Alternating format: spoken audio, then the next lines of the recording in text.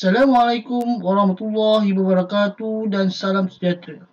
Hari ini cikgu nak mengajar matematik tahun 4 yang bertajuk nombor genap dan nombor ganjil. Terbahagi kepada dua, nombor genap. Nombor ganjil. Nombor genap ialah bermula daripada sifar 2 4 6 8 manakala nombor ganjil pula bermula dari nombor 1 3 5 7 dan 9 cikgu bagi contoh. Ada satu masalah ada dua nombor. Yang mana nombor genap, yang mana nombor ganjil. Itu senang je. Kita bahagi dengan dua. 124 bahagi dengan dua. Dua darab berapa satu? Tak ada kan sebab nombor dia kecil. Kita ambil nombor 12. Dua darab berapa? 12. Dua darab eh? 6, 12. Tolak 2, tolak 2, sifar. 1 tolak 1, sifar. 4 kita turunkan ke bawah. 2 darab berapa? 4. 2 darab 2. Jadi 4.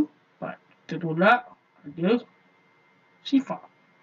Inilah dipanggil nombor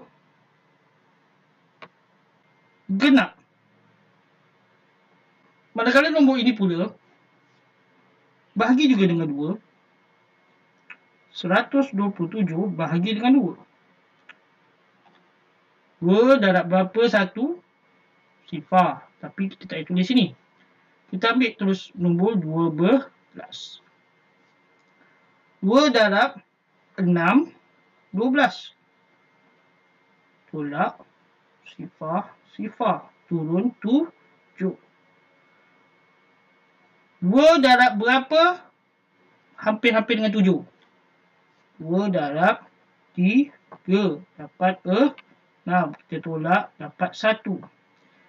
Ini yang dipanggilkan nombor ganjil. Sebabnya setiap nombor yang kita bahagi dengan dua akan jadi sifar maknanya tiada baki. Manakala nombor ganjil pula ada baki iaitu satu. Itulah jawapannya. Nombor genap dengan nombor ganjil. Macam mana nak bezakan? Kita tengok pada nombor hujungnya. Iaitu nombor 4. 4 ini tergolong nombor genap iaitu sifar 2, 4, 6, 8. Kalau sini tukar nombor 6, nombor genap. Kalau ni tukar nombor 8, nombor genap. Okey, macam mana nombor ganjil pula? Kita tengok pada hujung dia juga. Tujuh. Tujuh tu kategorinya ialah nombor ganjil sebab dia ada nombor satu, tiga, lima, tujuh dan sembilan. Tengok pada nombor hujungnya. Kita terus pada muka surat sembilan.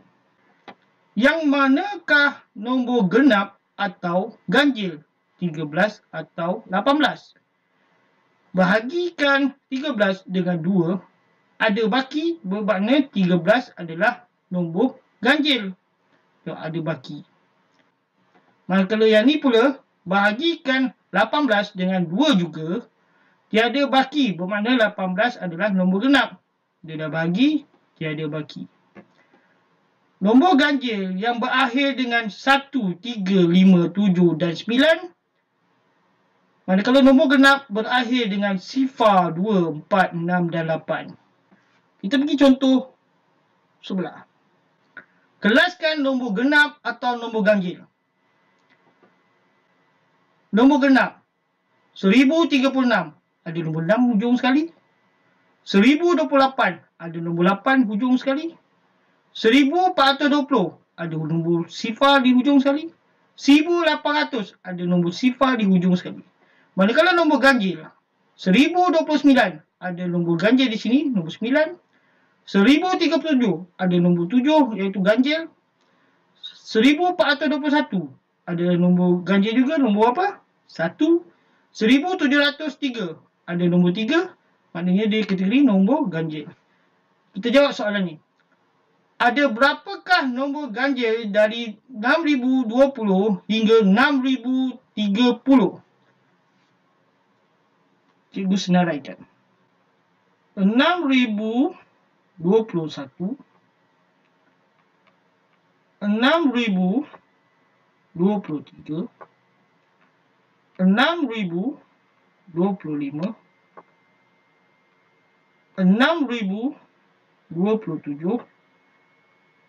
enam ribu dua puluh tiga enam ribu dua puluh lima enam ribu dua puluh tujuh enam ribu dua puluh sembilan macam mana cikgu tahu kita tengok nombor last sekali satu tiga lima, tujuh, sembilan.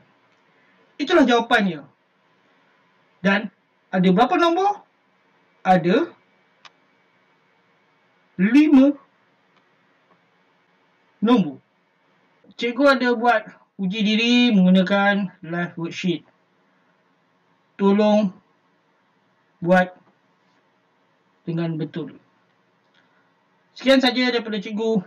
Assalamualaikum warahmatullahi wabarakatuh.